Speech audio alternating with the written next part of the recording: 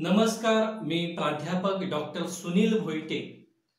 आज गुरुपौर्णिमा या निमित्ताने आई वडील आणि गुरूंना वंदन करण्याचा हा एक दिवस आपण साजरा करतो. कायमच हे तिघेही आपल्यासाठी वंदनीय असतात मात्र तरीही आज आपण यांना आठवतो. आईच्या उदरामध्ये चैतन्यमय जीव शिष्य बनून वाढत असतो. या विश्वामध्ये आईच्या उदरामध्ये जीव आदर्श असावा यासाठी आई नानाविध प्रयत्न करीत असते. ती विविध आध्यात्मिक ग्रंथांचे वाचन करते थोर महापुरुषांच्या आयुष्याचा परिपाठ ऐकते वाचते. सकारात्मक जीवनशैली स्वीकारते. सकारात्मक आचार विचारांना आयुष्यामध्ये स्थान देत असते. माझे मूल या सृष्टीमध्ये अवतीर्ण होत असताना त्याच्यावरील संस्कार हे उत्तम कसे असतील यासाठी ती प्रयत्नशील असते. उदरातील मूल यापासून जीवाचा सुरू झालेला प्रवास ते शाळेत जाण्यापूर्वी किंवा जाण्यापर्यंतचे मूल आणि पुढे आयुष्यभर ती आई त्या मुलाची प्रथम गुरु असते. वडील अथवा बाप हा खंबीर आधार प्रत्येक मुलाला फार मुलाचा व आश्वासक असा गुरु असतो. बाप नावाच्या गुरुच्या भ्रशावरच ते मूल आपल्या परिघामध्ये अनंत गोष्टी करण्याचा प्रयत्न करीत असते.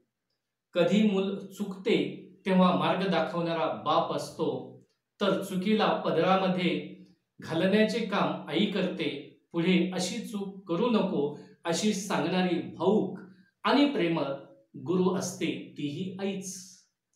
मूल जेव्हा शाळेत गुरु समीप जाते तेव्हा शाळेतील गुरुजी हे त्या मुलाचे अध्यापन प्रक्रियेतील गुरुजी असतात. माझा शिष्य उत्तमातील उत्तम आणि सर्वोत्तम व्हावा ही गुरुची अपेक्षा असते आणि ती अपेक्षा पूर्ण करण्यासाठी कायमच शिष्य प्रयत्नशील असतात.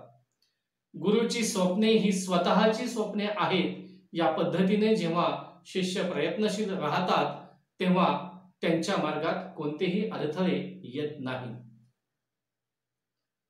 गुरु शिष्याचं नातं आई वडील शाळेतील गुरुजी एवढ्यापुरतेच मर्यादित नसते. तर बहिणीच्या अपेक्षेने भाऊ हा गुरु असतो तर भावाच्या अपेक्षेने बहीण ही देखील गुरु असते. आयुष्याच्या या जीवनचक्रामध्ये आपणाला अनेक माणसे भेटतात त्यामध्ये प्रत्येकजण आपल्याला काही ना काही नवीन गोष्टी शिकवत असतो. कोणी चांगल्या गोष्टी शिकवितात कोणी वाईट गोष्टींच्या मार्गी लावतात. तरीही चांगले आणि वाईट यामध्ये सदसद विवेक बुद्धीचा वापर करून आपण पुढे प्रवाहित होत राहतो. आयुष्याच्या शेवटापर्यंत भेटणारी व्यक्ती ही देखील आपली गुरुच असते. परदेशामध्ये जेव्हा एका लावण्यवाती स्त्रीने विवेकानंदांकडे आपल्यासारखा ओजेस्वी पुत्र माझ्या पोटी जन्माला यावा ही अपेक्षा व्यक्त केली तेव्हा विवेकानंदांनी त्या स्त्रीला स्वतःची आई मानले व ते त्या आईचा पुत्र झाले. भारतीय स्वातंत्र्य चळवळीत सक्रिय सहभागी होण्याची अपेक्षा गांधीजींनी त्यांचे गुरु श्री गोखले यांच्याकडे व्यक्त केली. तेव्हा त्यांनी गांधीजींना म्हटले प्रथम तुम्ही भारत भ्रमण करा.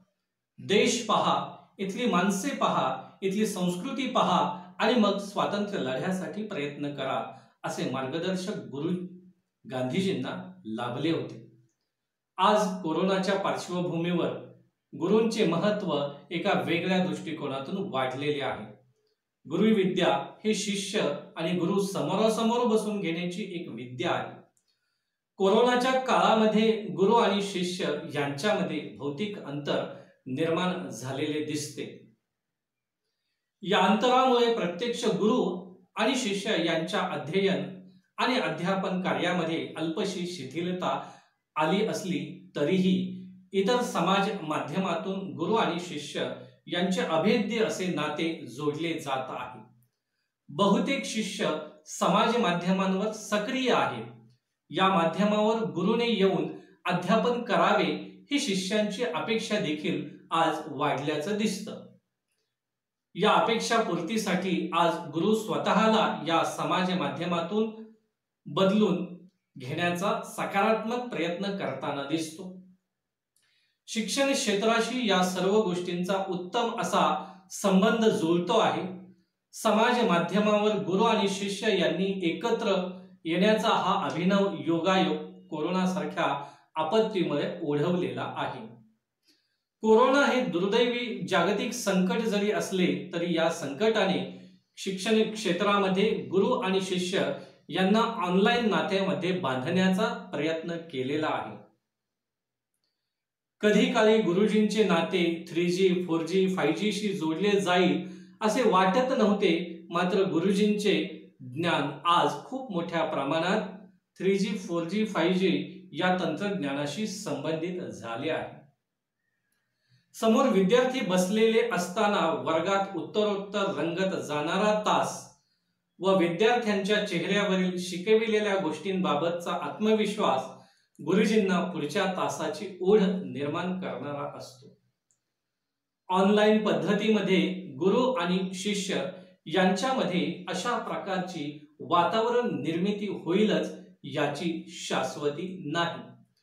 असे असले तरी पारंपरिकता आणि आधुनिक तंत्रज्ञान या दोन्हींचा समन्वय करणे गुरूंना सहज साध्य आहे असे या ठिकाणी म्हणता येते. धन्यवाद.